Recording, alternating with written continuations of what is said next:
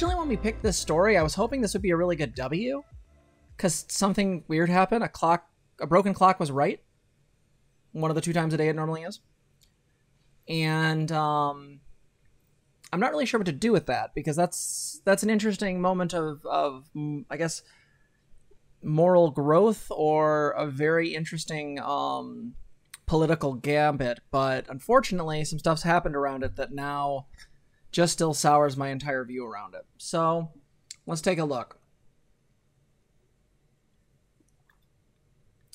Utah governor becomes latest to veto trans sports ban. The move came just one day after Indiana's governor also overruled legislatures on the matter. So, yeah, let's get into it. Um, let's use the text to voice. Real That sounds good. Save my fucking voice tonight. Yep.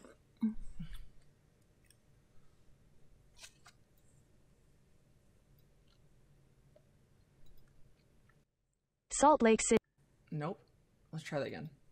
Salt Lake City, AP, Utah Governor Spencer Cox vetoed a ban on transgender students playing girls' sports on Tuesday, becoming the second Republican governor to overrule state lawmakers who have taken on youth sports in a broader culture war over how Americans view gender and guys hear that? sexuality. Cox joins Indiana Governor Eric Holcomb, who vetoed a statewide ban on Monday. I turned it down. Holcomb said Indiana's legislature had not demonstrated that transgender kids had undermined fairness in sports. I struggle to understand so much of it and the science is conflicting. When in doubt, however, I always try to err on the side of kindness, mercy, and compassion, Cox wrote in a letter to Utah legislative leaders. So, obviously, everyone who follows this channel is more than aware of the fact that Republicans are on the warpath to marginalize another group of evil, more so than they already have. And the way they've done this in the past was by sporting TERFs into figuring out ways to screw trans women in, you know, uh, out of using the bathroom. Uh, but that wasn't the most successful thing. So, what they tried instead now is they're going the sort of. Um, irre- irreversible damages route, right? Where they're either trying to protect girls or they're just trying to stop trans people from participating in sports. There is a lot of really things wrong here. Um, and while the science itself is, in my view, still conflictual, I also don't care because I would like people to be able to participate in sports. These are kids' sports. It's not like these kids are going to be like like it's not like these kids are playing in the NFL. Like just saying.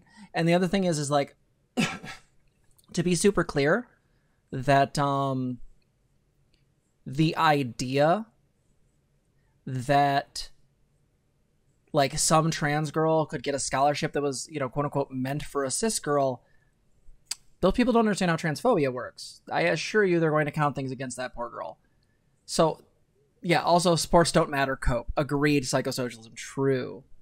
But so this is a really interesting thing that uh, Governor uh, uh, Governor Cox did, right? Veto a statewide ban. Really cool stuff. Let's see what he had to say. The vetoes come as Cox and Holcomb's counterparts in nearly a dozen conservative leaning states have enacted similar legislation, and politicians have honed in on transgender kids in sports as a campaign issue in states ranging from Missouri to Pennsylvania. In Utah, minutes after the veto, legislative leaders announced they would convene lawmakers on Friday to further consider the bill and discuss overriding the veto. To succeed, they'll need support from two thirds of lawmakers, which means they'll have to sway some who voted against the ban in the final hours before the State House adjourned for the year.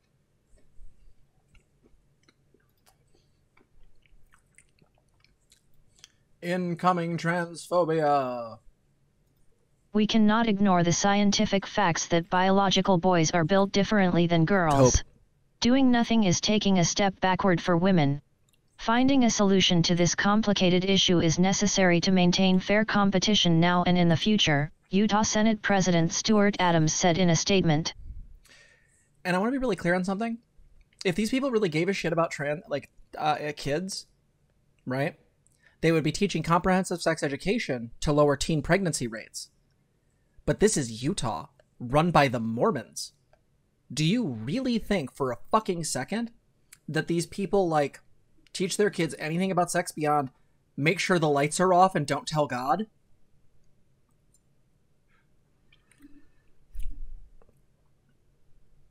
Right? Like, real quick, chat, if you can get it to me, I want to look at it. But what is Utah's ranking in teen pregnancy? I'm just curious.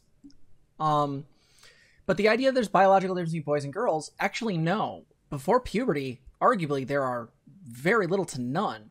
Now, if they go through puberty, that is a different thing. But again, if you're going through hormone blockers, you either have interrupted puberty or they have stopped it altogether to allow the person to go through the puberty they desire, the one they experience as. Yeah, they just do abstinence only education, right? They set their set fires to a fucking tissue and are like, "This is the burning flavor of uh, fire of passion" or some weird shit. There's an old episode of like Penn and Teller's bullshit that went over abstinence only education, and it, it is it's horseshit and garbage. Yep. Um, good episode. Not not fan of all their stuff, but good episode. Um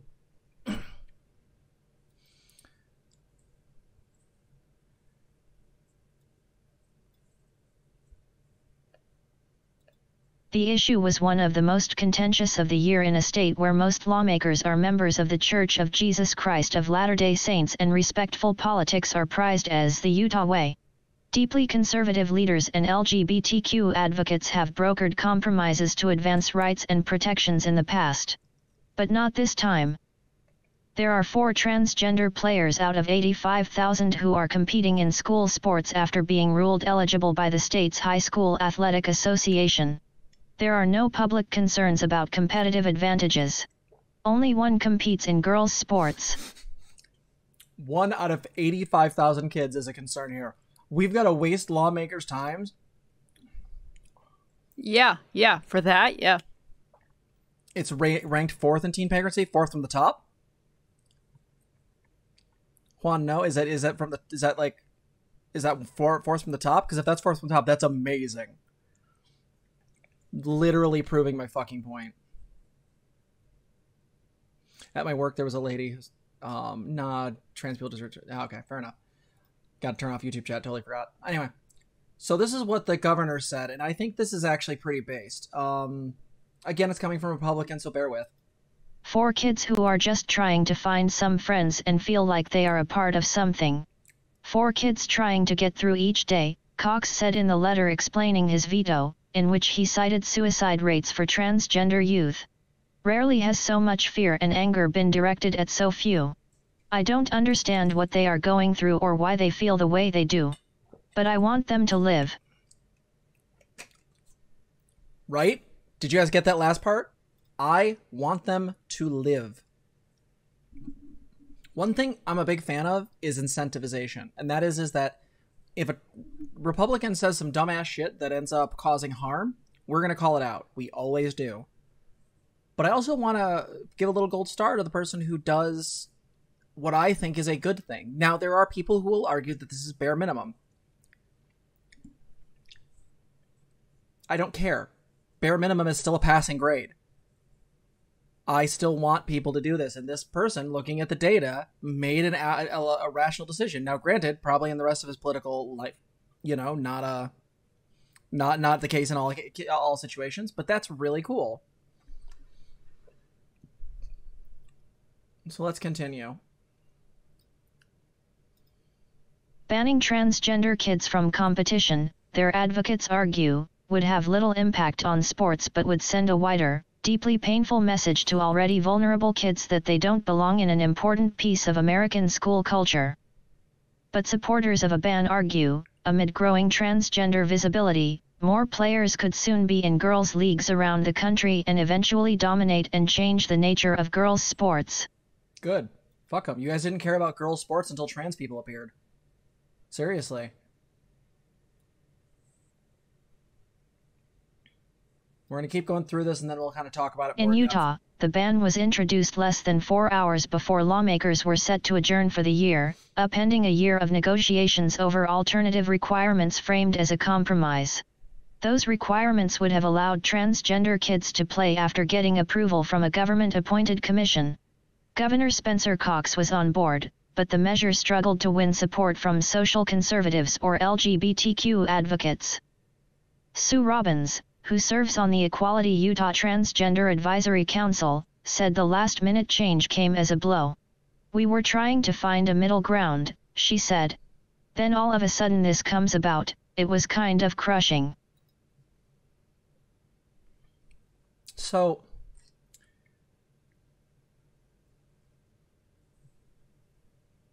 so essentially,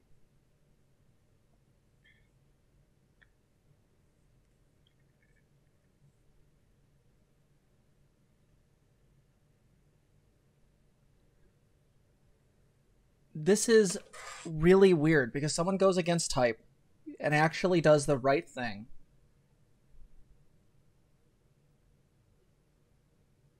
And then lawmakers seem to have then overruled what's happened. They enacted this. We'll cover it more in a minute, but they enacted the sports ban after GOP governor vetoed. This is what the uh, the governor, I guess, said about this, and uh, To go from all of this work, all of this discussion and all of these negotiations to get to a point that was uncomfortable for everyone but was a path forward and really represented the best of Utah, to now, on the last night of the session, out of nowhere, getting a complete ban that nobody's talked to me about is incredibly disappointing, he said minutes after lawmakers passed the ban. He also later said the bill would only invite a lawsuit that True. would bankrupt the state's high school athletics governing body. I mean, he's a Republican Yeah. after all, so you know, money, bottom line, yada yada. So here's the thing. So apparently they had that session.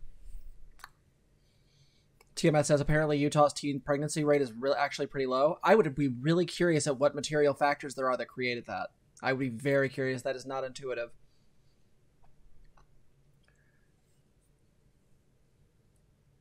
So apparently, but in a 21 to 8 vote by the Utah Senate and a 56 to 18 by the state house, Republicans circumvented him to enact the legislation. The Utah law states that a student of the male sex may not compete and a public school or local education agency may not allow a student of male sex to compete with a team designated of students of female sex in an interschola- uh, interscholastic uh, athletic activity. If define, it defines sex as, bi- as the biological physical condition of being male or female, determined by the individual's genes and, and ana- anatomy at birth.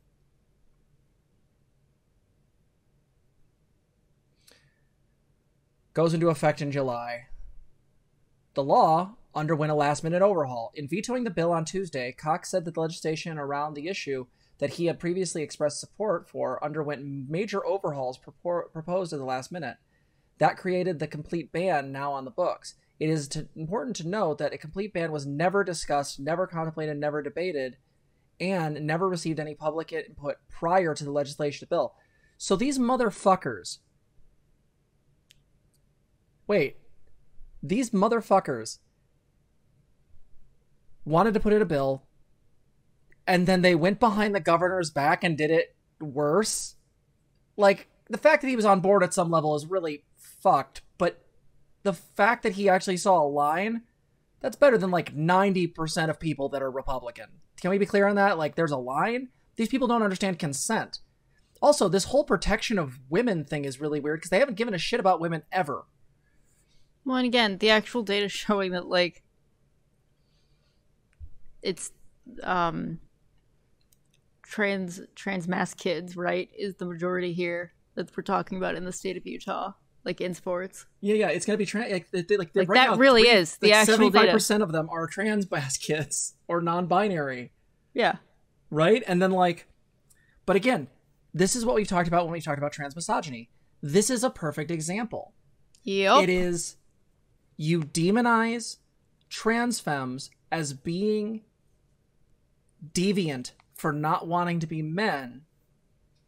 And so what you do is you force them back into that perspective. So you're you're trying to beat the girls, you're doing something awful, you're doing something bad. So we define them as that. We misgender them, we define them as, as male, so they aren't allowed to compete, so we always other them. But nothing in here says anything about trans boys. Which good for them, but this is awful. No, no, it just absolutely ignores like the trans boys entirely, right? Like that weird thing that society does. Now, if I wanted to be cynical, I could say that the governor vetoed this bill so that he can look softer and more compassionate than his Republican counterparts. And as such, would give him the ability to show that he was doing well and make it less likely that he'll be voted out. That's the cynical part of me, because then he knew the legislature would do it anyway. But I want to take people on good faith and say also, if he was supporting a bill that was a much lesser version of this, not a fan of that, but I don't actually know what that law said. I assume it wasn't great, and I'm going to continue under that assumption, but the idea that it is at some level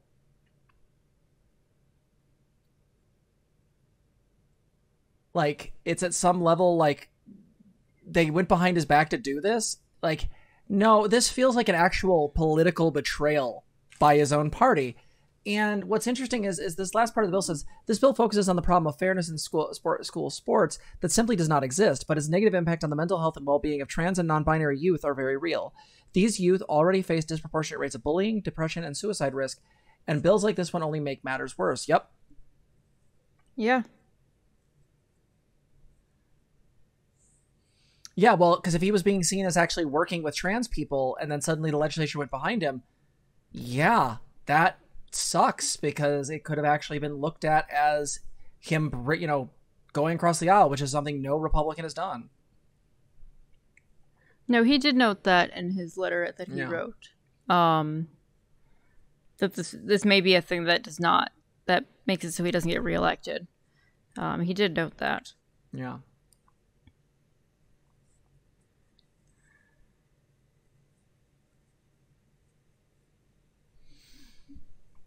Yeah. If they had enough votes for it, I don't think appearing more centrist would earn him a lot of political merit. I mean, it could theoretically because most Republicans aren't, but it depends, I guess, on the area. The governor is not wrong about the lawsuits, too. Utah is going to have to bleed a lot of money fending off litigation. Good. Let them bleed. I want every fucking drop.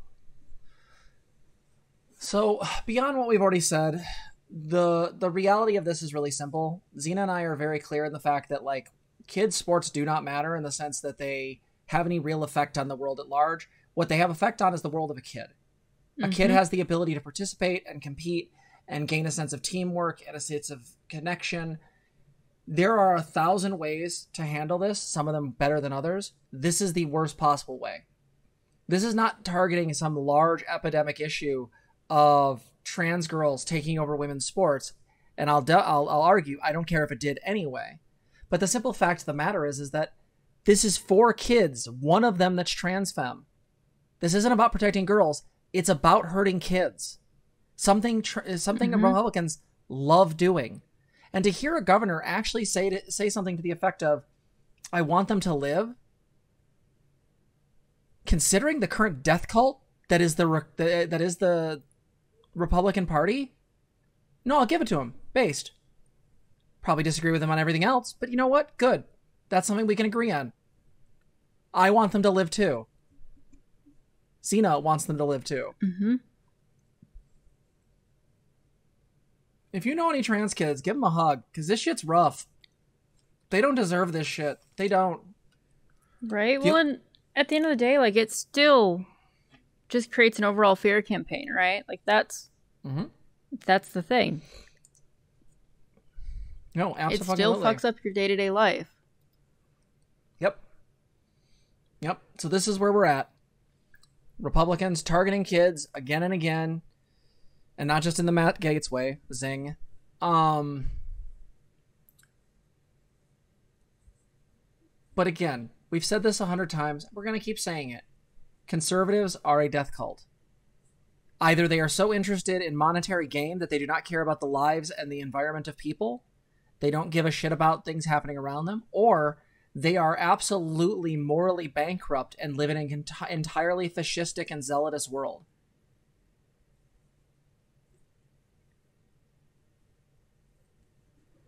Right? And so we'll give it we'll give a gold star when we can. This was good. I'm really glad that Governor Governor Cox, I believe his name was, did this. That's really fucking cool. Mm-hmm. Yeah.